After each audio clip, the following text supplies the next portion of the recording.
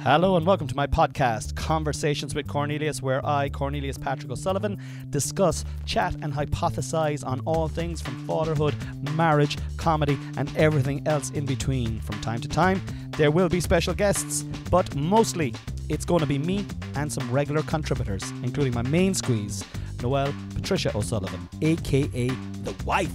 So sit back, relax, and enjoy Conversations with Cornelius. Who they against? Uh, fucking, I don't know. Who were they against? Ladies and gentlemen, welcome to another episode of Conversations with Cornelius. I'm your host, Cornelius Patrick O'Sullivan, and uh, it's the sports podcast. Uh, audio only today, guys. Uh, computer has taken a vacation from our lives, uh, so there will be no. Uh, I can actually see it here. The startup light is on of the monitor, the screen itself. But yeah, that's just the screen, but that's the, the screen. Yeah, the actual body of the computer has gone to computer graveland, and uh, it's finished. we need to get a new computer. So there's holes in the roofs of the house. The wallpaper's falling down. The computers aren't working. Are we Kind- giving up? We kind of probably yeah. should. It's kind of a state of disrepair, really. This Yeah. this room. We probably should. I have a Patreon as well there, lads. If you want to put a bit of fucking paper on the wall, uh, link in the bio. Go. It's Would you not uh, throw a little picture of so they can see how um, run down this facility I is? I could do that now, but Noelle would definitely leave me, and then I'd have absolutely no hope left in life whatsoever because she's the only thing that's keeping me alive. That's uh, that's a fair point, actually. Yeah. Um, so I suppose we just need to get the kind of the grisly details out of the way from the start. We had a little bet.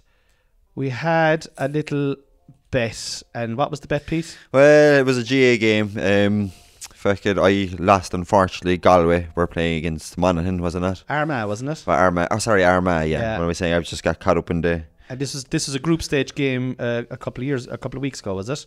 This was actually a knockout game, wasn't no, it? No, it wasn't a knockout game. This is sports podcast. I'm trying to find what the fucking thing was here. Uh, I'm sure it was. Ar- because they're both still in the championship, so it couldn't be knockout. It was Armagh, but I, for some reason, I have.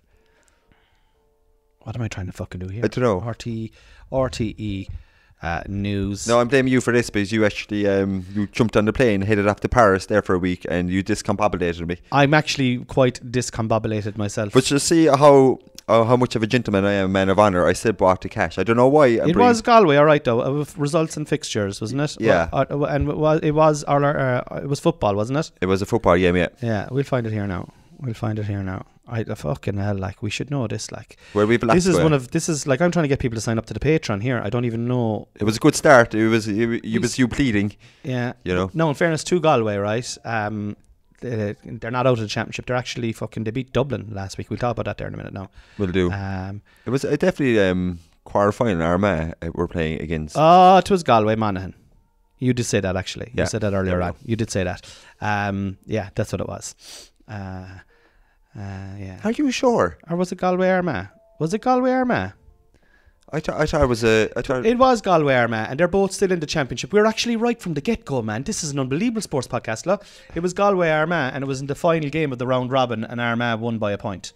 Oh. And it was because I fancy, I fancy. Um, Could you do me a favour now? Could you scoot down and let's have a look at the provincial kind of um, provisional quarterfinals? Uh, Roscommon and Kevin, Cavan, Tyrone against Cork, Donegal against Clare. Derry against Westmeath. Yeah. Yeah, I think you're right. But Yeah. either way, I lost the ten euro. Yeah, give it to me. Well, you know, Where's it? Is this all in coins? it's all. In, uh, why are you going to throw your nose up to- two euro coins? I No, no. won't. But I, No t- but I, Two, four, six, eight, and there you go, boy. A man of my word. fucking hell, where were these coins? And I probably up your hole last night. Wash my hands. Um, look, I'll take it, but you still haven't given. Like, I mean, like, thank you. You've you've taken I'm out how much money I'm up owe me? 15 now. I'm 15 up euro. 15, right? Mm. And maximum that we can bet on this podcast is a tenner. So you have to win twice to feel how I feel, which is amazing. I feel amazing. You feel amazing. Yeah. Well, I'm glad you feel amazing. We may not be able to remember the results because we're gone. And that's the thing with sport as well. It just flies on. Like, To be honest, we're. There's so much sport on between the European Championships. We got the GAA, which is football. We got the hurling, and then there's what you call there's there was rugby league on over in the Tour de France. Tour de France is on. The Okay. first, the first lad from Africa won two stages actually. Where's he from? Mo- is it? Uh, I was looking at the flag yesterday. oh God, throw up the flag! I'm actually really good Yeah. with flags. Uh, uh, okay, one second now. Will you have to talk while I'm doing this now? You see, this yeah. is- Are, are you actually watching the the Tour de France? I I watched. I tell you now, I was in the on the treadmill inside in town in the gym yesterday for 20 minutes. so 20 I minutes. watched 20 minutes. What what pace was the treadmill on? Uh, do you know? Was it working like? Were you was it you know walking? You know walking, right? slo- slower than walking? So if you multiplied walking by 0.05, that's the pace. Were you that sweating though? I yeah, I, Yeah, I'm gonna get back into it now. Yeah, but no, no, like- no. Jeez, I won't um, fucking What am, I dog look, you there. what, what am I looking up here? so we're yeah, Tour, Tour de France. See, there's no way we're going to remember remember a fucking bet. from Guys, if you're ago. looking for up to date, insightful uh, i- insights on this sports podcast, let's be honest, nobody was Let- following it. We could have said any bit. Yeah. It wouldn't have mattered. Not many people watch the Tour de France. But what what is good here now, right? By us doing a little segment on the Tour de France, Hmm. we're going to throw ye out a couple of nuggets, right? That we're getting directly from Google, right? and they're going straight into your ear holes. And later tonight, when you're talking to a friend and he's annoying you with a little bit of ex, like a bit of knowledge, you can mm. go, yeah, yeah, yeah. Well, like you know, fucking Sean Kelly's going well in the Tour de France. He's the, he's the boat. He's commentating, isn't he? Sean no, Kelly. He- Stephen Roche is commentating. Kelly used to Or is commentate it Kelly? as well. Could be Kelly. Could be Yeah. actually Kelly. Yeah. I, my favorite thing Sean Kelly used to say down through the years was "Out the Velden." yeah, up the mountains. That's they are now him. That's, that's, I watch Eurosport, and that's definitely him. He still has it. Well, the only reason now I know how to talk like uh, Sean Kelly is he's from a place called Carrick on Suir, right? And Carrick on Suir is where my mother's from. And I have a lot of aunties and uncles from Carrick. Carrick is what we call it. And that's the accent from Carrick and Suir. desperate accent, isn't it? It's, Like if they're about to die any second. man, that's, now my mother has lost it. So, like, Mentally like, or? well, you know, just the accent. Oh, okay, like, yeah. You know, Sorry, I thought you were go Um, inferring to something. she is mentally cognizant, mind guy. yeah, no, that's fair going. But I'm looking for the top stories here now. Yeah, so there's this lad there from Africa. He's the first African um, athlete to win a stage in the Tour de France. So Cycling. yeah, it's class actually. I actually love watching it. You know, I, I won't be too. Uh, oh, this is great. Now I'm going to get the fucking flag here now. yeah. So Jonas Vingard is uh Oh yeah, so there's Danish lad. Yeah. he's up. I was looking at the flags yesterday. This is the fellow who won the um the thing yesterday. Tadjar Pogakar. Yeah. So get that right now, lads. When you're fucking talking to Johnny at the pitch tonight at the under eights training, and he's like, "Oh, have you seen the Euros?" No, no. I was watching. Actually, I'm actually I'm better than you. I, I watch better sports like the Tour de France. Did you see Tadjar Pogakar? Actually, currently there's a documentary at the moment on Netflix following these two lads. Actually, the lads that you just mentioned. Tadjar The- Pogakar. Their rivalry there. Yeah. Someone just after coming to the fucking front door there now. We might get an audience to this podcast. Yeah. You do. You're doing live podcast later on. Uh, I am. I'm doing a live podcast. I can you talk away there because I actually have to fucking get that. Done. yeah, yeah, yeah. No matter. You keep talking there. Okay, so I am going to um, speculate about the Tour de France. So you can often hear these lads on uh, Eurosport chatting away about the mountains, about the scenery, and I'm going to do something likewise here where Cornelius has gone. Now, just to mention as well, he his house is in absolute uh, state. So if you are guy, if you guys are going to contribute to the Patreon page, it would be much appreciated because oh, oh he's okay. He's back. He's a package in his hand. Cancel all their pay. If you've signed up for a Patreon, cancel it, lads. Right? Because the wife is still buying stuff. No, Just- no. In fairness, I was trying to drum up support for you. Oh, were you? Yeah, yeah, that was so that's a shame that you you went that direction. But She, sure, no, she like w- uh, like the fucking papers coming off the walls. There's holes in, and on the ceiling and in the ground. I could have over embellished while you were away, but you, You know, know, I was going to go further. But and you, yes, there's some sort of an item of clothing after coming in the door from Amazon there now. oh, let's have a look at this. Yeah. Very good. Debenhams. Oh, you Oh, know, I know it's not for me if it's from Debenhams. Have Oh, you ever- yeah, yeah, yeah. No, I've, I'd rather go to hell. yeah. they go to there. Debenhams. Oh, yeah. this is from some. Oh, yeah, it's from fucking some place in England. Yeah. Fridays. England. She's buying stuff. She's given the fucking queen. She's given the queen or shillings. And still, there's no paper, no uh, wallpaper put a bit here. Paper on the wall. Look, lads, Yeah. actually, genuinely sign up to the Patreon there, you? Noelle's gonna have to fucking charts all together with the fucking clothes. Yeah, I mean that's big. I was just uh, telling the lads there how there's commentators on Eurosport. They can just you know chat idly away about the mountains, about the different fucking countryside in France, and should literally chat about nothing for three hours with it. I, I think it's such a good skit and have the crack. Yeah. Uh, uh, where, where's this fella from? Fucking. Where's this? Uh, I think that f- okay. Scroll way down. Well, it would have been the stage uh, over the weekend, so there was two stages. I think. all right, guys. So look, if you're looking for the information, you've come to the wrong podcast. Just go to Google. Google. What did I say in Google? No, I'm telling them. Oh yeah, Yeah, yeah. we're not going to do it. Yeah.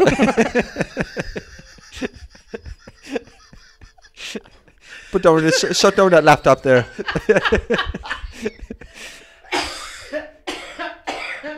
no interest. Oh my god. Anyway, that's the Tour de France. Watch it if you want to. Uh, it's on Eurosport. Sean Kelly is, is is commentating, talking about the mountains and the countryside. There's fuck all going on for three hours, as my guy just said. and usually the fella that's taking the most amount of drugs is the winner. We couldn't even pronounce the two main fucking cyclists in the Tour de France. Well, v- look, Verdegard outsprints Podcar to win Epic Tour stage. Yeah, yeah. You know, that was the 11th stage. So if you want to talk about something, lads, if you're looking for a bit of fucking, look, we better give them something, a nugget, right? Vinny, Vinny Gard outsprinted Poggar. Pogacar to win an epic tour stage, and this was an epic one. And sure, look, you know they're all on drugs. Look at the fucking jerseys they're wearing. Look who's around. See, look, he looks like he's a vagina there. Yeah, I know Joe's lads are just. Where just are they putting their cocks? they're just built for cycling. They have a little hole in the saddle as well, don't they? Some of them they have this little fucking hole so the saddle isn't complete so they can put their junk their junk kind of slips in. They sticking shit into the hole.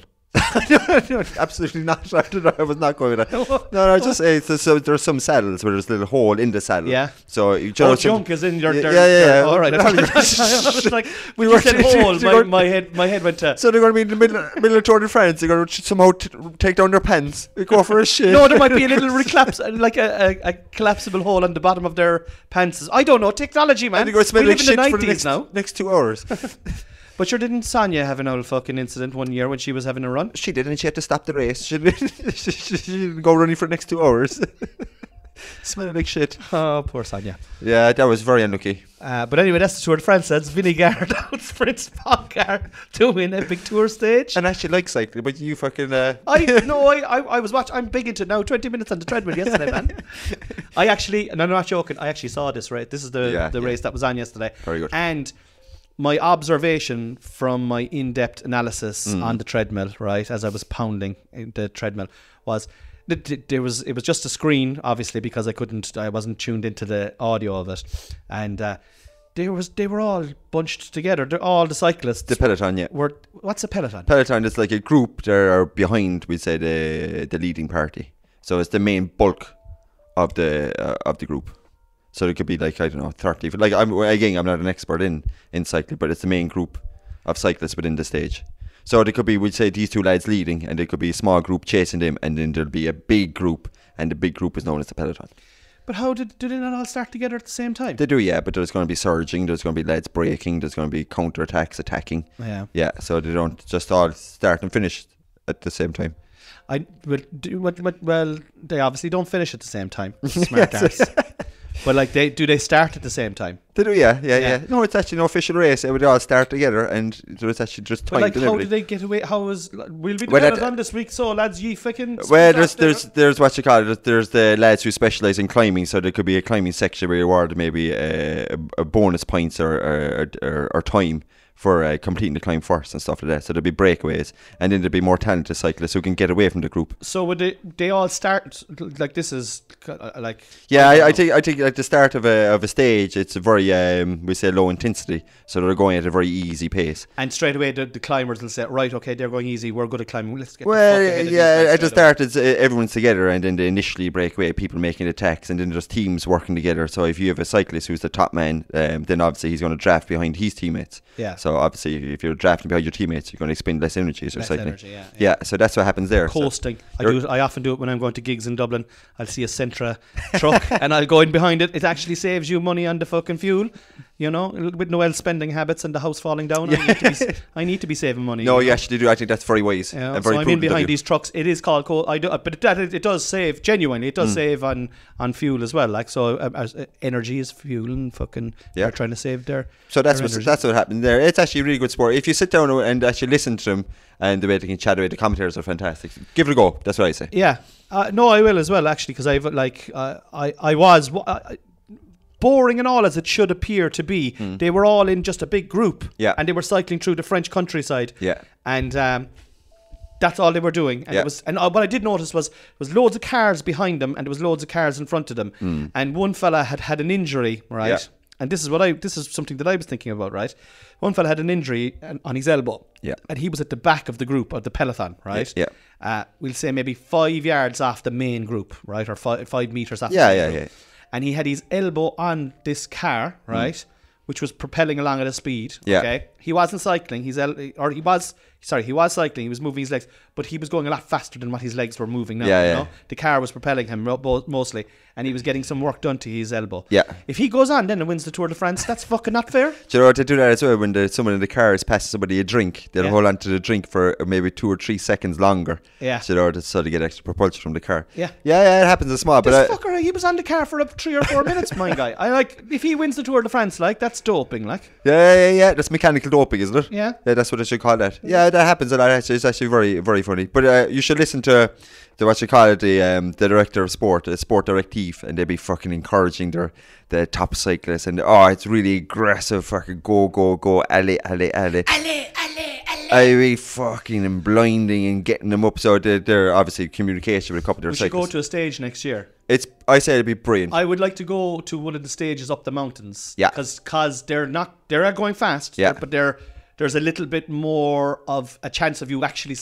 You know when they're coming out? Can you Yeah. run onto the road and slap their back still? Jesus, lads, they're literally. I, I say, wouldn't do that, no, that'd be a, foot away from them, throwing f- flags around. Fucking, it's one or two times in the the cyclists they'll, they'll even they'll smack a spectator, get him out of the way, or they'll, they'll well, right, rightly so. oh yeah, hundred percent. Imagine you're fucking bearing down on goal, two two minutes into injury time, Norcock final. Yeah. You and the goalie, and Johnny Murphy fucking runs across from the pitch to give you a fucking go on, go on, boy, fucking bury it. They fucking, they fucking love it. The Dutch fans love it. The German, it's just, it's brilliant. And have we any fucking skin in the game at the moment? Sean is doing the. There's a fella there. Is it Hayes? His name is it Brian Hayes or something like that? So he's there. There. He's corner forward for Cork last Sunday well, maybe I'm getting mixed up with names.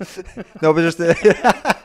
I think got man of the match in the fucking All Ireland. Could you Google that? Could you, Brian i- Hayes. is there a Hayes for, um, or is it something like that for um, Irish Well, I'll tell you what I'll do now is I'll put Brian Hayes in to Google, right?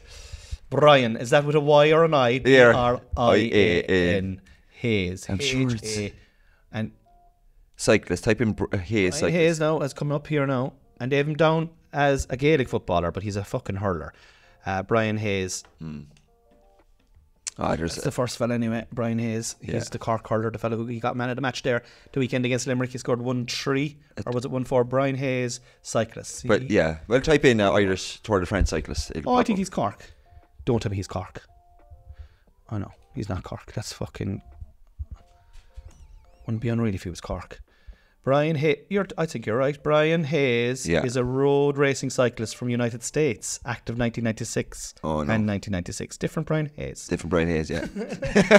I was only Minister halfway- Brian Hayes welcomes Europe. Like the Minister Brian Hayes joined members of the Dublin cycling campaign. Yeah, let's right. link him in. Let's link him in. Uh, I don't think it's him. I, uh, Brian Hayes, Strava cycling. Oh, here we go. This could be him. He's hardly further down than that. Like. He's done no miles. He's got 85 followers. He's following. This is a random for fella from Strava. Who's Strava? Strava is just an app that you can record your workouts. Any fucking Uh, Joe Soap could be on he, he put up his workout of no miles. What a fu- well done. yeah, I know he's flying that lad. Yeah. Okay, sixth place finish. Hold on, hang on, one second, Oh, here we are. lads. We don't give up on this podcast. Sixth place finish for Irish cyclists on final day. What year now is this? We better get the fucking year right here before we start. 2024 January. So is this indoors? That's indoors. That's yeah, that's a track. Yeah. maybe he's an indoor cyclist. This Brian Hayes character that we've No, do just you know come what? I across. could be wrong with the name. Sixth place finish for Irish cyclists on final day of the European Championships. I think you might be wrong here now, I'll tell you what you do. Type in Tour de France and type in uh, current Irish cyclist in Tour de France. yeah. And he should pop up. Well, But he's actually a decent cyclist. Like he, he could be in Tour de France Irish cyclist. Nah, we're fucking Brian Healy. Felix? Brian Healy. That's the one. Is that him? Yeah, that's Brian Healy. Yeah. So let's have a look at this Brian Healy character. Yeah. Well, first of all, I don't like his rig out.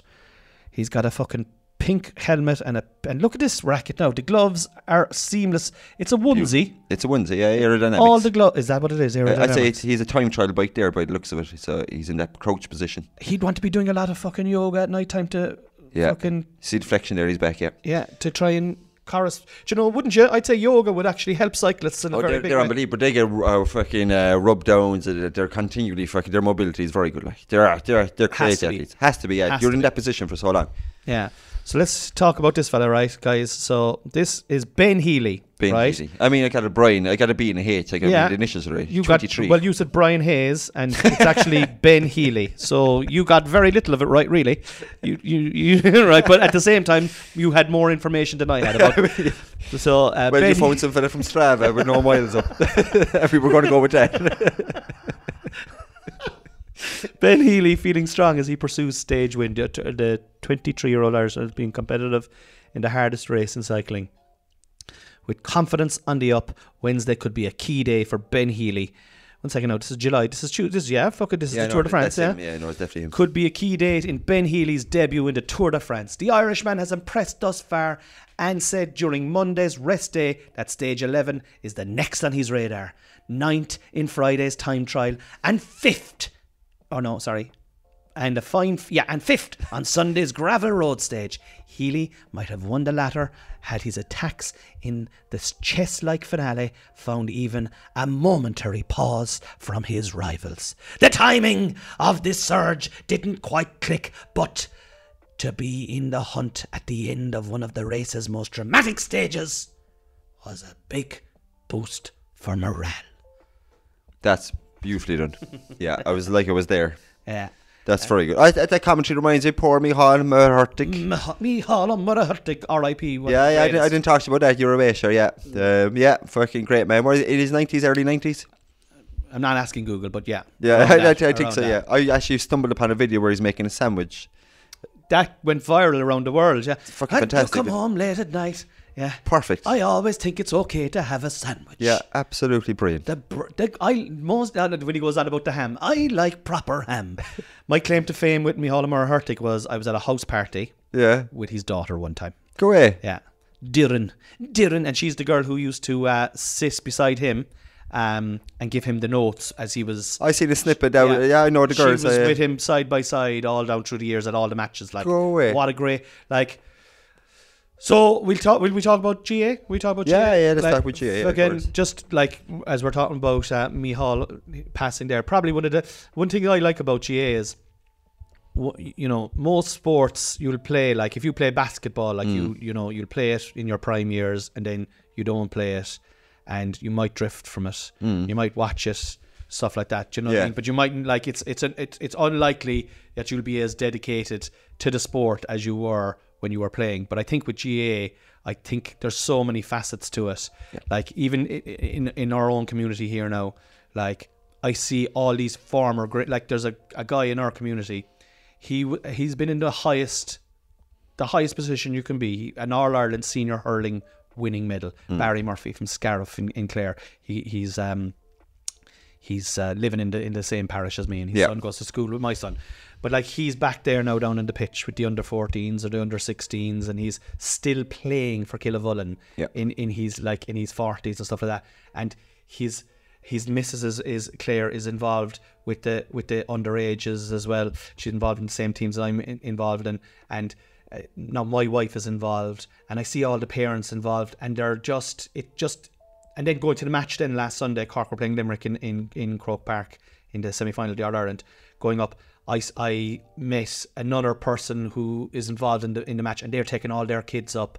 And when I was above in the big tree just outside Croke Park having a pint with uh, all our crew from Ballyclough, uh, I saw one of Dylan or one of uh, Harvey's school buddies uh, uh, running around the place, Yeah. and I was just like, it doesn't end like the GAA doesn't end. And Mícheál Muircheartaigh was a fucking he was a he was a bridge. I've always felt he was a bridge from the common man to to the the the the, the, the stars, hmm. the, the like, cause, and even the stars like the like the Henry Shefflins, the the the fucking Sean O'Halpines of this world, they all talked to him, and he had the common touch with them. Yeah, and yeah. yeah, he was he's he, yeah, he was amazing. He was amazing, and he gave he's gave his life to it as well. Like Oh yeah, hundred percent. But you hit a good point. I think yeah, GAA is just in the fabric of our societies, and it just it defines. Uh, I, I shouldn't really define anyone to their totality of a person, but it, does mean a lot to everyone, doesn't it? Do you know? Well, I was in I was in the sauna yesterday now, right? And uh, it is, but it is changing. Are you come to the sauna as gym work? No, this is my recovery work. I do recovery on the same day. Okay. So I was in the sauna yesterday, right? And I was in there, and do you know who was in there now? Was a next an ex teammate of both you and I, okay. Dave Ahern. Oh, brilliant. Door is what Yeah. his nickname. Geez, he was a fantastic underage player. Lads, if Oh. I could just tell you how good he was, he- like he was as good as anyone. He was as and uh, do you know what about him as well? So humble. Yeah. He was always humble. I actually always like like I remember I remember him underage being unbelievable, but I remember that he just kind of stopped playing for. A, No, what I will say to that, no, Dave won't mind me saying, I remember one game he wore a baseball hat backwards. so how humble can you be? well, I'm talking about humble off the pitch. Like Yeah. if you're talking to him, you're, geez, you did you did great there, Dave. You got fucking six six. Yeah. He'd never be blowing about Yeah, what yeah. he did because he'd often put up fucking huge scores, but he wouldn't be boasting about his scores. No, or- no, he was never like that, but we- yeah. I often walked around the place with a fucking my baseball on back hat on backwards as well. Um, But to play a game with a baseball hat back, I thought it was it was it was pretty bold, but he could back it up though. he could back it up. Yeah. He- Did he play for Cork? He underage, I actually don't think he did, you know, but he should have had. He was he was outrageous talent. Like I just can't like if there was a Maradona in GAA underage, like this lad was just he was very very good, Yeah. powerful, strong. Yeah. She's super quick. Uh, I remember his dad. His dad was a legend, and we used to have a. If there was a free in around fucking anywhere from we'll say the I don't know forty yards out or whatever like that, he'd look at his dad. And dad would either give him the thumbs up or thumbs down. Thumbs up was a point. Thumbs down was a goal. And I still remember it. And everyone, yeah, everyone could know. But like if if if, if um, Shawnee was his dad's name, he's legend. And if, if Shawnee put his thumbs down, that means go for goal. And Dave would score a goal. Everybody would know is is going for goal, and he would still hit it with so much power and pace. Yeah, it was just it was brilliant. It was great times. I just always think back to lads that trained us underage, the likes of uh, Shawnee. Geez, the amount of time. R.I.P. Shawnee. Yeah, the amount of time to put into it, like you just have to fucking. You're And so he's a- respectful of it. That and it- and that- that's lo- that and that's lovely because that kind of feeds into what I was saying there earlier on. That's what it is. Your dad takes you, and then your dad, and then I, like I feel incumbent to take my kids. Yeah. And I want to. And, the, and why do we want to do it? Because like I do say, I, it's it's a cultural thing, you know, and it's it was my upbringing, and I feel that my friends now are, you know, the same friends that I've had since childhood. But I kind core I think hundred percent. I think it's a way of holding on to the past as well and Yeah. remembering what what's important for us. Yeah. But you know, because at the end of the day, you're influenced by your culture, your fucking geographical location. We're born in Ireland. Luckily, Yeah, luckily, and we uh, we've this fucking affinity towards GAA. We grew up with it. We made friends through it. We've built connections through it. I think we want to elongate. But it is that. is dissipating in society. I definitely see it because I, I, to get back to Dave there, right? So Dave, he's in the army now, twenty five years, Yeah. right? He was uh, like like just lo- like I love like I just a lovely fella. I, I like because I we were inside and we were got chatting. And the last time I'd met Dave was 10 years ago when I was the manager of Junior A team. Remember, we got to the Knockouts Yeah, final, we yeah. lost to Kilshannig. And Dave was on the panel that time. And, Yeah. I, and we were just talking about Jay. And he was like, Oh, I haven't played since then. No, you know, I haven't played Mm. since then you know, I fucking gave enough to it, and he he'd given enough to it. And I said, I'd the same. I said, I'm only getting back involved now because of my kids. And um, I was asking him about his own kids, and he was like, um, "Yeah, I brought them along. now. I brought them along, and uh, do you know, it wasn't for them.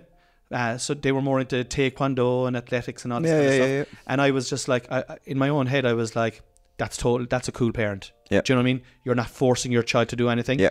Um, a really cool parent. But then I was also thinking it's a shame. It's because like you know I am forcing my kids to go, like whether they like it or not, uh, they're going, but they love it, so Yeah. that's okay. But like, what I thought was interesting was he- the things he named out. He named out taekwondo. Yeah. He named out uh, what he named out taekwondo. He named out gymnastics. And there was another unusual sport that's escaping my mind now. Is that like judo or that- along similar lines? No, because Taekwondo was one of them, Yeah. which wouldn't have been around anyway when we were around. You'd have Yeah, yeah, yeah. Source. And I was just like, that's why it's different now. There was less choice. Yeah. There was le- like you had Gaelic games. If you wanted to play soccer, there was no soccer team in Ballyclough. You know, your But there- there's actually a recent study that actually kids that partake in a whole host of different activities when they're younger and don't specialise in a certain sport like GAA, they actually turn out to be well rounded, better uh, athletes. better athletes, Yeah. and actually better at their specialised Yeah. sport. And like that's like so what we've done with, for example, with our Harv now, right? And our Harv won't, you know, probably won't amount to anything spectacular in in the field of sport because he's autistic and he's got like you know he finds it difficult to to pick things up faster than other kids. But Could be a stat man. he could- he he'd be a great stat man. Um, or he could, but at the same time, we're still giving him every single opportunity, and I'm trying to get him into other things. I'm bringing him into soccer. We're starting him in athletics now soon. But think about it this kind of so there's a tiny, tiny, tiny amount of the population actually turn out to be really good athletes in it. Yeah. So I mean, like we always know, it's a journey, it's a friends you make, it's a I friendship. make It's him into a cornerback boy. make him into a stubborn, a fucking sticky, sticky corner back. All you have to do is to be able to hand pass that ball out. It's the concentration. He finds it hard to concentrate. But anyway, my point my point being is when we were young, it was we went to the pitch in Ballyclough. Yeah. We went training with our classmates, and that was it. And then at home, we might watch something on the television if there was a. If we were lucky, if the Monday night Italia soccer was on, we might watch that. And then the next week we'd be Ruud Gullit and Van Basten playing soccer in school, but for no one else in school before, during, and after school, and then we'd be hurling and football. Um, but now, the, and because our par- your parents didn't have the money to cart you and your brothers off to three or four different things. Nowadays, it's a totally different kettle of fish. It's like most houses have two cars. There's like social media is bombarding fucking everybody. Oh, you need to do this. You need to do this to be a good parent. You need to do this to to to fucking have a bigger dick. Oh, sorry, that's a different story. but you know what I mean? Like it's like you're just being bombarded with all this stuff, and I think the choice out there is, um, whilst it is great, it does dilute the numbers that the GAA used to attract. Hmm. And I think there are players probably slipping through the cracks that would have before stuck with GAA longer. So I think it's more incumbent on the GAA to fucking look at that and go, okay, we're up against these things. How can we attract people more into the into the games so that we can build on our culture? And I think a big thing with that would be to to look at all these beautiful fucking non-nationals that are coming in and settling in our country and try to do integrate them in a little better, you know, because they're Yeah. they're big numbers, like Yeah. you know. Um, No, I agree wholeheartedly with that, and like, yeah, there's huge variation in sports. But the good thing about that, though, I I find, and probably you found as well, a lot of our friends stopped playing sport because they lack, lacked interest in GAA, and there was no other avenue for them to go to. Mm. Whereas now, if you don't like GAA, well, then go to athletics, play tennis, play golf, there's a whole host of different Yeah. jiu-jitsu, MMA, everything, everything's there. Whereas before we grew up, you don't like GAA, well, you're not playing sport. So, unfortunately, that's the way it was. it was You know, Well, if you wanted to do something, you had you, you had to re like you probably had to travel to do it. Yeah. Do you know what I mean? Like Yeah. if you wanted to swi- if you wanted to go swimming, you had to travel into Mallow to go swimming. If you wanted to do competitive swimming, you'd have had to go up the country to wherever, like you know, Yeah. to that one pool or, that we had in the whole of the country Yeah. that you could train in. it's all there now for them. It's all there now, you know. And uh, eh, look, it's good, it's bad, but I just think that you have to move with the times, and I, I think sometimes the GAA is not looking at that properly. Like this fucking GAAGO carry on, like is a great example of it. Yep. Like all the matches that Cork were behind it in paywalls this year, um, and it. What that's what that's doing, the knock-on effect, what that's doing directly is it's stopping those young kids that are running around with their their their friends in bars as their dads are fucking having a pint on a on a Sunday watching a match. It's stopping them being exposed to that culture. Yeah. and uh, it's like I stayed up last night now watching the the Euros with my uh, with my Harvey Jan. Right, he's seven. He's never watched a full match, but I knew that he might stay up if he, or he'd watch it because he'd have to stay up late. I was chatting to him this Yeah. morning. This morning, he's better analysis than us. better analysis than us. Watched Yeah. the whole thing, and now we're all game ball to watch the um the final. Oh, come on, Spain. Oh, come on, Spain! Oh my God, we'll move on to we'll move on to Spain there now. We'll move on to we'll move on to soccer. A sachet out of GAA. We'll get back to GAA anyway. But look, just want to say actually before we move on from GAA, I was at that match. I was at the Cork hurling match last weekend in Dublin, and it was Actually, one of the lads, our chairman, t- um, rang me. Um, he had a ticket for me. He was listening to this podcast. Yeah, yeah, yeah. So he said um, he offered me a ticket to the to the to the match. well. I was on to him looking for a ticket now for the All Ireland. If you get one, we should go together. Oh yeah, yeah, yeah, Yeah. yeah. Yeah, like fucking. yeah, yeah, no, busy that day.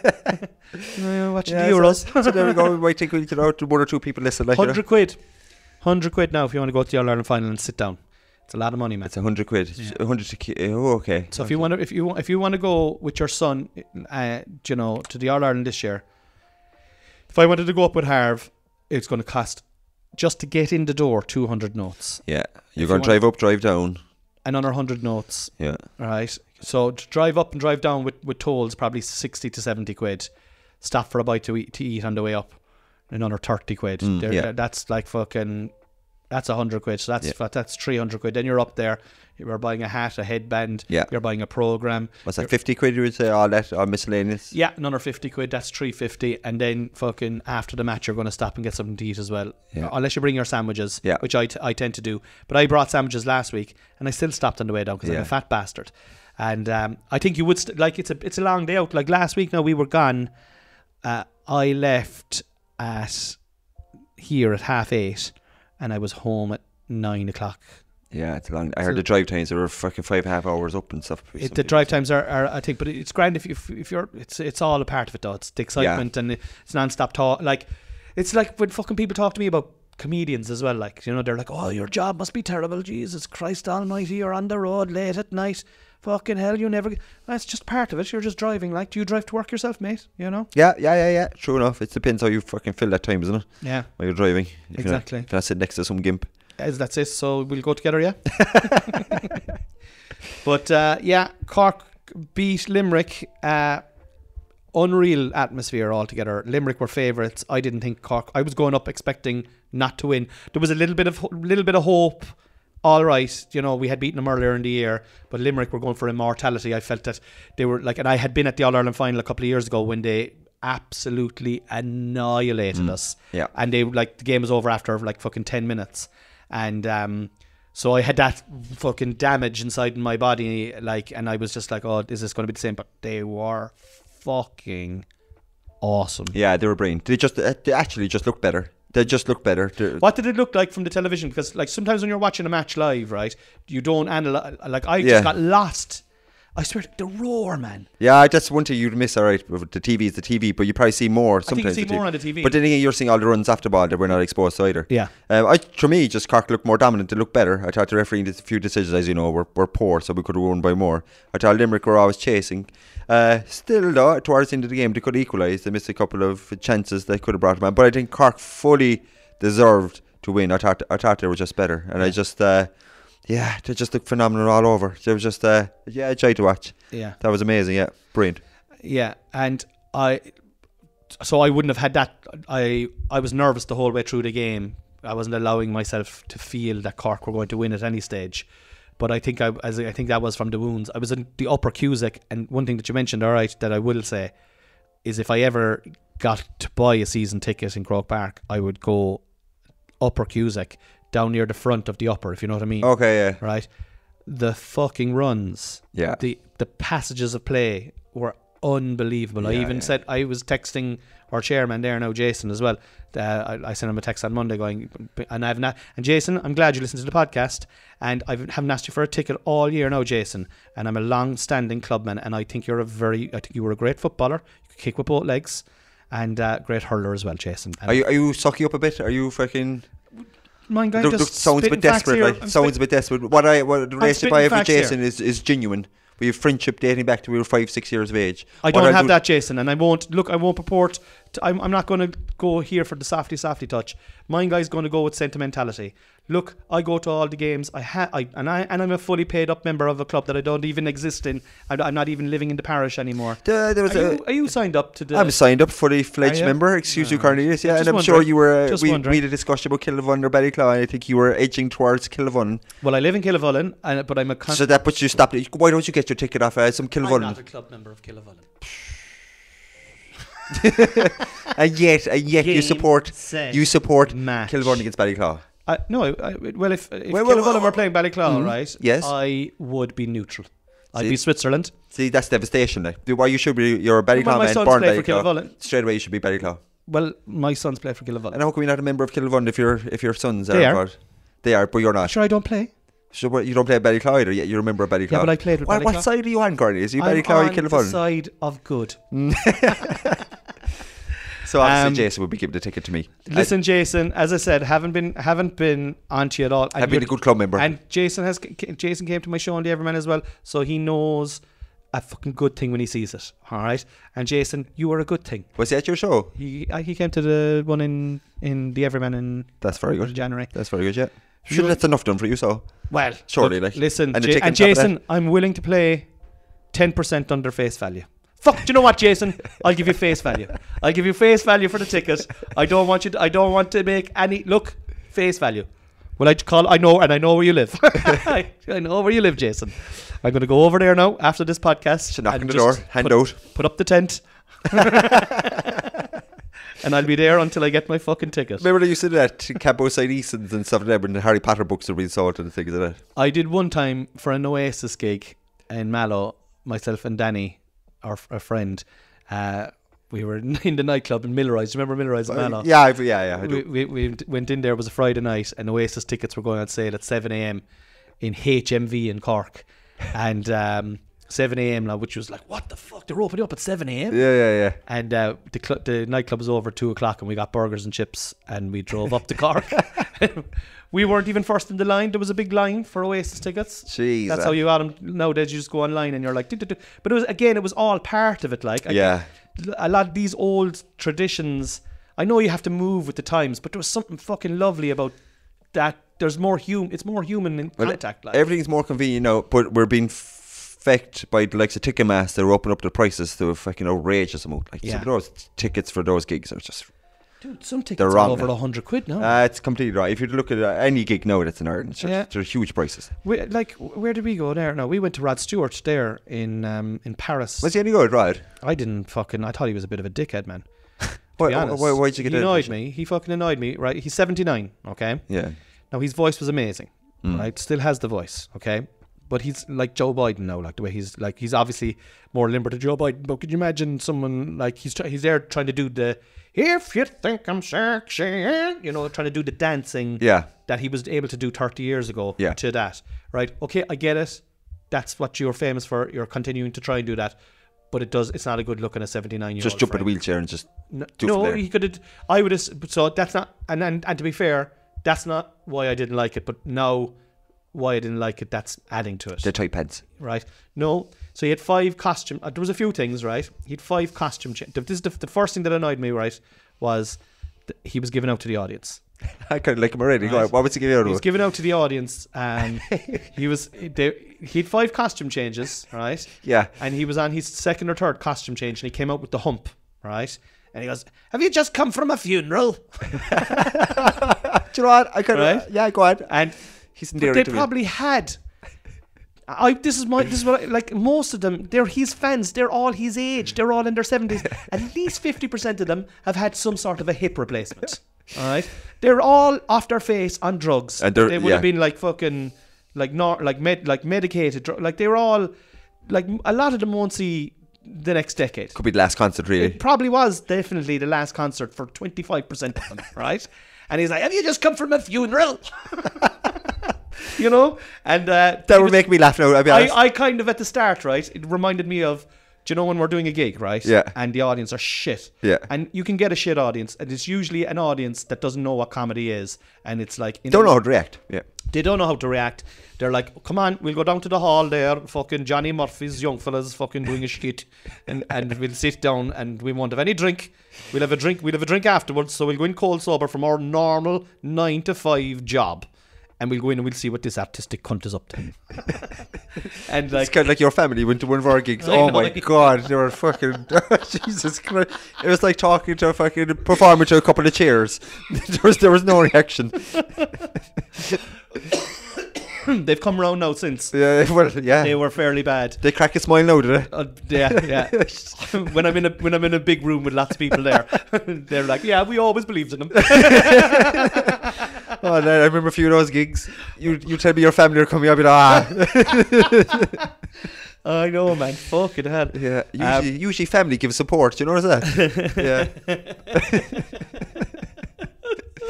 Tears of a clown. Yeah, go on. Uh, you're on uh, Rod Stewart. He's giving out. Uh, Oh, yeah, got so- the hump. Yeah. So he got the hump, and this because they weren't because they weren't fucking going "Rah, rah," and taking their fucking knickers off and throwing them on the stage, you know, because they weren't able to bend down. they weren't physically able to remove the people, knickers. Like they probably had to have people take off their nappies when they go home.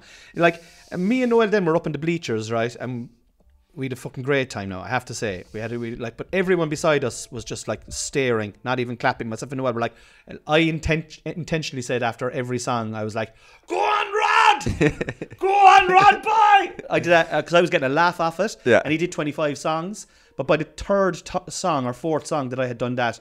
I was annoying people around me. Do you know what I mean? I was like, "You're at a fucking gig, ye cunts." Do you know what I mean? Enjoy yourselves. Do you think they're the type of audience that just want to listen to music? They want to fucking any outward display of dancing or anything. They just want to listen and enjoy the music for what No, it is. they just I don't know what they were doing there. I think I think people are are doing stuff as well now just for the sake of oh I, I'll take oh John loves John loves Elton John. Now we'll book a ticket for that next because Mary said she was at Elton. John. Yeah. I think it's almost we have to do this now. This is what people do. Hmm. It's like before we'd go out to the pub on us on you know three Saturdays a month. Now we just go to a gig four times. Both experiences. Yeah, Yeah, yeah, experiences, which I, is good now. And Yeah, I, yeah, they- yeah. I would say that to be fair now to the people that were sitting around me, I would say that they all liked Rod Stewart, like you know, but they were just not didn't know how to react at a concert. Now we were up the bleachers, and we weren't mad no by No, any big, big Crow Cornelius, big, was it, unreal. like, are you talking tens of thousands? Uh, so he this is the other thing. He uh, so there was it was fourteen thousand seater and it was full, right? And it was a tent, right? But it was it didn't look like a tent. It, it it like it was unreal. Now the whole setup was so professional. There was steps up into it and everything. I was when we were walking down into the venue. I counted the tour buses. There was sixteen tour buses. Whoa. Sixteen tour buses. So, I- and so he had a whole like Fleet of a whole fleet of thing. His his whole performance, he had uh, dancers and backup singers who did loads of solo numbers as well, and he had a b- unbelievably talented jazz musician or uh, a saxophonist. He was fucking brilliant, now, right? But he did a few solos as Mm, Yeah, well, so yeah. he was like, he was like, it wasn't Rod like. Back, give me Rod Stewart in his late thirties. He'd have had none of that faff. It would be just Rod with his chest out Yeah, yeah. and his leopard skin thing. I felt that there was a lot of faff, unnecessary faff, uh, in it, but it was a spectacle. Now it was a spectacle, and I hadn't been to something like this for a while, and f- and it was really good. The whole thing was really good, and it wasn't expensive because we went to Paris. But why he annoyed me, right, was a few reasons. Was that was the first one he was giving out about that. Then he started being disparaging about where he's going. This is the smallest venue I'm playing on tour. Why would he say that? Yeah, and it's a tent. I've been in a tent for 40 years. and I'm like, all right, okay. And he kept saying it. And he goes, ah, uh, yeah, have you been to a funeral? You know, and he was like giving out about the venue, giving out about being, I, I basically, I do bigger venues than this. Yeah, this You is know? beneath me. his ego was out. He kept doing these costume changes, right? So then he'd do like a couple of numbers, and then there'd be a costume change, and then while the costume change was going on, the three backing singers would come up and do a fucking chorus number or a fucking Oh, Tina yeah, yeah. Turner number. They were brilliant. Yeah. they were brilliant, but they weren't Rod Stewart. Yeah. they weren't what people had come to see. Is he just getting the change or just recover, you think? I reckon there was probably fucking a bit of recovery. Like he's a fucking seventy nine. 79 is quite old. You know, and I'd say so. Then on his fourth change, he came up, right, and he came up in the Ukraine colours, right, and then the screen behind him, the Ukraine flag came flipping. Oh, yeah, very good, very right? good, yeah. And he gave this passionate speech about the Ukraine and about the war, and uh, he dedicating this song to the Ukraine. I know he purports to be a big Celtic fan, right? Mm. This is how this and this is how I've linked this into a football into the sports podcast. Mm. He's a huge Celtic fan, right? And Celtic fans across the globe, myself included, you can see it here in my own office, right? Is we're pre we're pro we're like free Palestine, or Mm. you know, and he didn't mention the Palestinian struggle at all because it's like it's a touchy subject now Yeah. in in like and it would directly affect directly Ticket sales, in it, yeah. Potentially, in it, yeah. but he didn't mention it at all and I was like fucking I, I was I that that was the straw for me you know? I roared out at the end of it anyway free Palestine Noelle was like yeah you know? But um that then and then he continued throughout the night and then let's see what you think now at the end right? And Noelle can back me up in this. Continued on the night then to give out to the audience all the way through. He'd do two or three numbers wasn't getting the reaction that he wanted um, it was late at night as well. A lot of these lads go to bed at Should have o'clock. happened sleeping. Do you know what I mean? Yeah, yeah, yeah. Um, you know, A few of them could have died during, during the concert, for like, God's sake. You know, Rod, you didn't die, but 80 people potentially did, you know? And um, g- giving out to them the whole way. And then at the end, he did his number and it was yay. And the audience were, who I didn't think were that bad either, by the way, Yeah. were, were like, one more tune, or whatever the equivalent of that is. You Yeah. Know, like encore, encore. And uh, up on the screen came more clapping, please. I might even have it on my phone Yeah. right? More clapping, please. So then everybody clapped a little bit more. Yeah. out came Rod, right? And he's like, "Oh, yeah, uh, that's more like it a bit of life. Uh, come on, come on. Give me more. He wasn't. He actually was like, come on, and they weren't able to give him any more. they were giving him hundred percent I fucking love this. they were fucked, right? So he wasn't happy with it. He did the encore and then just did one, and this went and he didn't get the reaction at, at the end of that song Yeah. that he wanted, and he just went ah fuck it and walked off. walked off. No, in fairness, yeah. No, No, d- people paid a lot of money. Yeah. we travelled from fucking Ireland. To see- No, I I still think it was a good concert. What do you think of that behaviour? Well, yeah, okay, it's selfish behaviour. I find it humorous, to be honest Oh, with you. it- it is and in humorous. fairness, you're not seeing a robot. At least he's reacting to, he's perceived what's happening in it. Yeah, Do you know, so he's not just going through the motions. so I kind of like that. So in a way, I find it hilarious that he's berating the audience that probably just, like you said, they can't give anymore. A couple of them have died since he started the show. So I, I don't know. I think uh, there's something about uh, realism, and uh, and he uh, he he cares. At least you give him that. He must fucking care. No, and I don't really mind about uh, an artist not really uh, going above and beyond in regards to political stuff. Sometimes you're like, oh, shut up, just play. I'm here to listen to you. Fucking play music. Now I know you're going to counter that, and you're going to say, okay, you're increasing awareness and exposure. Don't do anything. I was about to get there, but if you if you're going to ignore one thing, you probably should ignore everything, and yeah, and just leave it out there. Uh, but in terms of him giving out, the, I'd find it hilarious. I would actually, I would Well, enjoy like, the I- show I, more. I, did find. I, now, to be fair, no, we were on holidays. I was stoned. I had a couple of beers in me. no, I, I I was like I was loving life. I got lost at one stage when I went down to get a beer, and I was like there was people giving me dirty looks. I was just laughing at them. I was looking for Noelle. Noelle had to come down to get me. Hold I'm your a hand remedial child. Like look, don't get me wrong. I'm a child in an adult body. You know. Um. And I but I just was looking at. it, I was just like. I just hope I'm never like I like. I I want to be fucking the same as Rod Stewart, fucking all over the globe with hundreds of thousands. I wanted to do fucking Páirc Uí Chaoimh at night, do my stand up, right? This these are the dreams that I'd have at night time, right? And daytime and fucking like and if I ever do get there, if that ever and look sure maybe I will- maybe I'll only do the set, the high B in Mallow, do you know what I mean? Yeah, yeah. But that's the do you know you've Gotta have that's the goals and World Cup, dreams. and Yeah, yeah, like yeah. I feel I'm alive. I feel if while I'm alive, let's go for the fucking let's shoot for the stars, right? So if I ever did get there, I'd hate to be perceived the way that he, like he was just. But you see, then Noelle said a good thing to me. She said he's been a superstar since his teens. yeah, He's had fucking women throwing themselves at him. He's had people telling him he's amazing. He's had all this. His whole entire like his ego is massive. No, it's, he's supposed to be a very nice guy now as well. By the way, just hmm. this was just I could we just kind of caught him on a bad night as well and give him man a break as well. But like all this being said, he's had he's like he's been a millionaire all his life. He's never had to worry about a bill. He's a fucking like he's got a brilliant family now as well. Goes, does what he wants, eats what he wants, drinks what he wants, does whatever he wants, you know. And everyone tells him he's great. For fucking two hours, put that ego at the side of the stage and give the people the what they want. Yeah, don't be them- berating them for fucking not being able to clap. Uh, they're nearly dead, Rod. They're they, some people have they can't if they clap they could break the bones in their hands. They've osteoporosis. They're on heavy meds for that. Do you know what I mean, Rod? Don't be such a goal. That's all I'm saying. Just for those two, there. That's my. that's a valid take as well. Yeah, You know- just for those. Yeah, set aside your ego. They've paid money. They've travelled. This could be For two hours, For two, yeah, for two know? hours. Yeah, you can, And then come off stage and go, oh, they were fucking shit one day. Yeah. We've done that. Yeah. You and I have done that. When we when we did our double act, we've often done gigs that were fucking hard as fuck. And we'll make a joke even on stage about it, but we'd always give them the beginning, the middle, and the end, and we'd give it unless we were in Tipperary, they didn't even know we finished. Well, we that show we did our show. Yeah. They just wanted more, and that's. Could you blame them? Could you blame them? Maybe uh, the, the critics would say we probably should have had a definite ending to the performance. That's what the critics would say. see you. Walk off stage. You might, remember, you might came into us in the dressing room. They're, they're still outside waiting. Oh yeah, that's right. That's right. That's, and we looked in, and there was like about twenty-five or thirty people still waiting for us to go out, and we, just walked out past the window. See you later.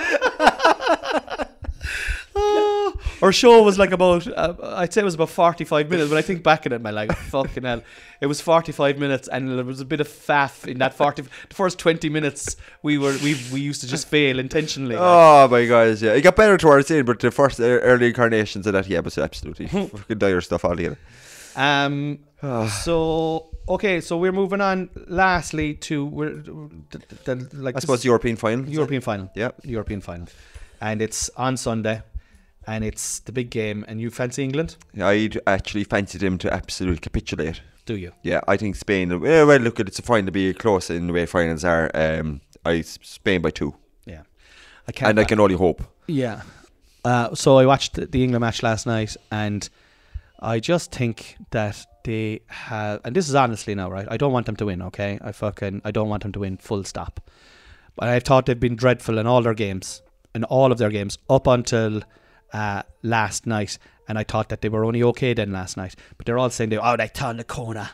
Mm. They turned the. co- Foden became a man Yeah, it's you just know all hyperbole. you know so like they played a Dutch team that were playing what happened to Holland, in my opinion, is do you know the fella that got taken off injured, Memphis, yeah. Memphis Depay. Yeah. he's their he's their Roy Keane. He's their spiritual leader. Yeah. he's their like he would be like fucking Roy Keane getting taken. yeah, he's, it would be like yeah.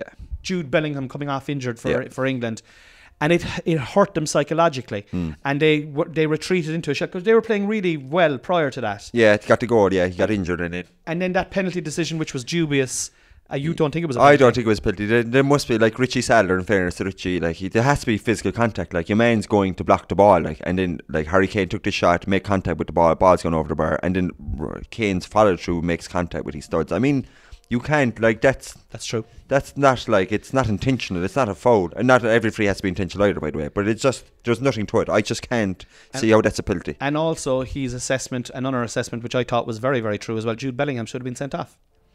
Oh, I missed that. What, was, should have been what, what happened there? Why, so he got a he got a yellow card in the first five to ten minutes. I remember that, yeah. Right? And then, uh, what about twenty five minutes to go or thirty minutes to go? Yeah. There was a, a s- uh, the ball was over by the line, Yeah. okay, and the ref blew for a free for Holland. Yeah. And Bellingham was like, "Fuck's sake, it was an English free, right?" And the referee went this way, and Jude Bellingham kicked the ball away.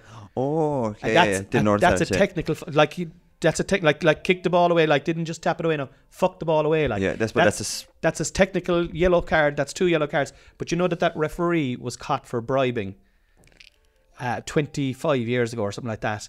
He- There's a bribing allegation, and he was he was convicted of bribing, and he How? somehow managed to get back to the highest level in sport that makes no sense. and was in charge of that match. And he had beef with Jude Bellingham in Borussia Dortmund uh, three years ago when Jude Bellingham was a 17 year old playing with Borussia Dortmund.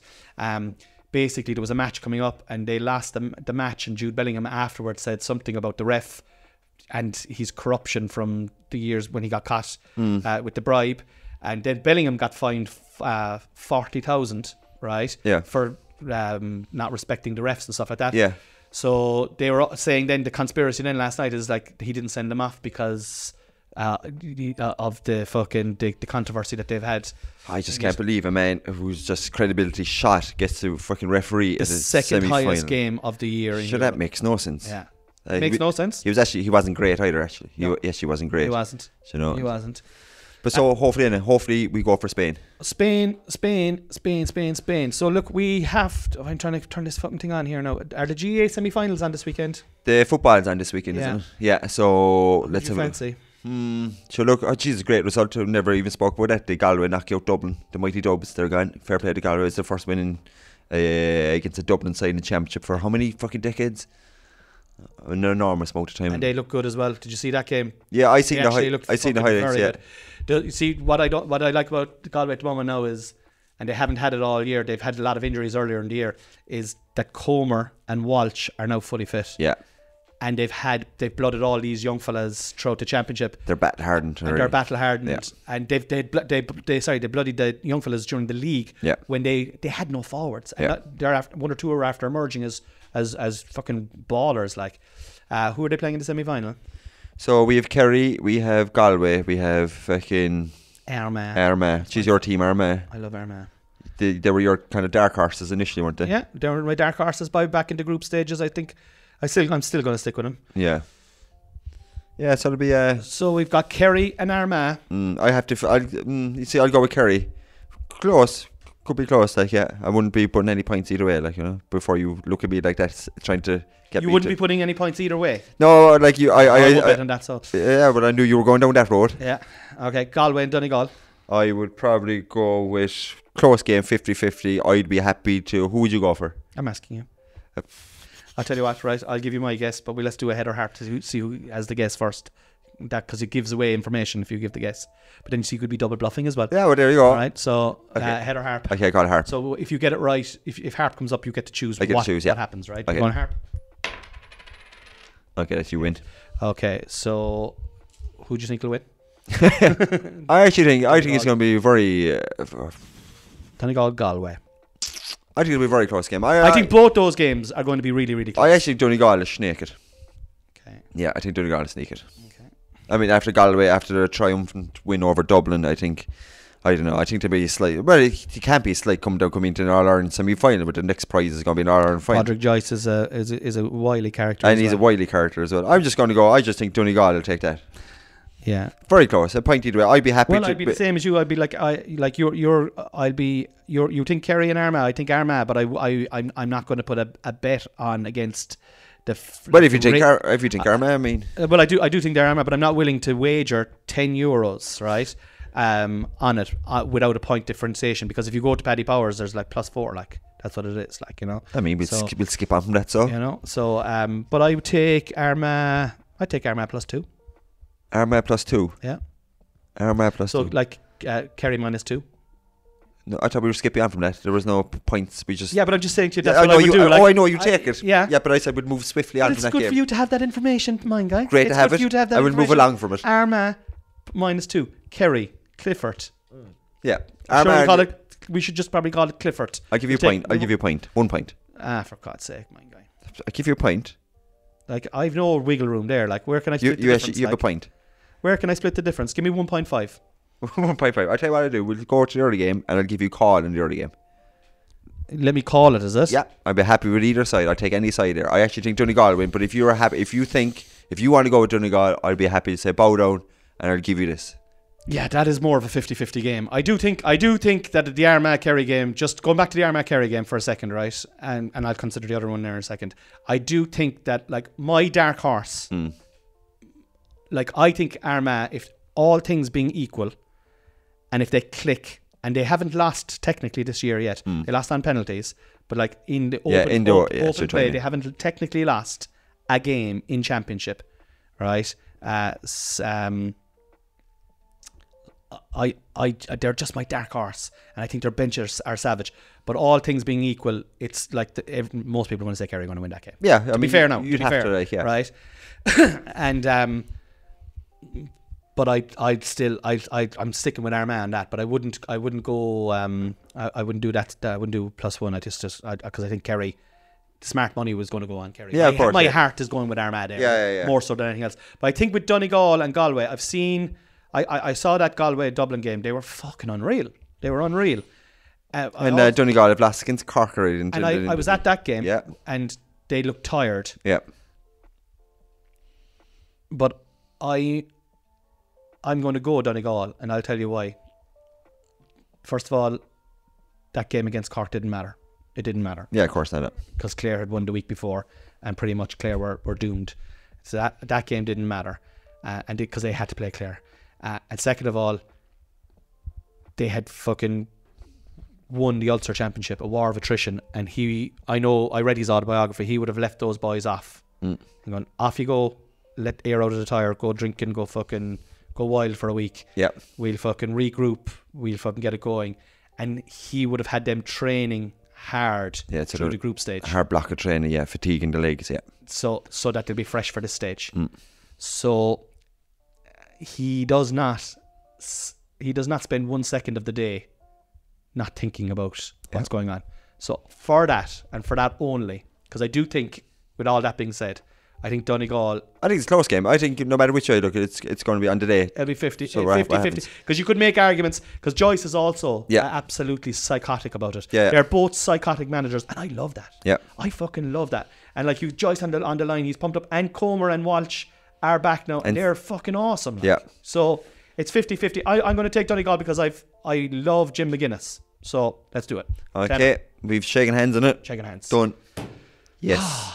Imagine if I win on 25 euro. yeah, I'd be absolutely devastated. Probably won't come back. Never again to be seen. Uh, lads, thank you so much for listening. This uh, this week's episode uh, was brought to you by nobody. If you want to get involved in the podcast, send me an email and you can become a sponsor on the podcast. And uh, sponsors get unbelievable uh, shout outs on the on the on the podcast. So if you want to be shouted out every week for a hefty fee, get in contact. If you don't want to do that and you want to sign up to the Patreon, do it. The link is in the description. Love ye. Stay in by the wall. Good night, Irene. Good night, Irene. Goodbye. I'll see you in my dreams.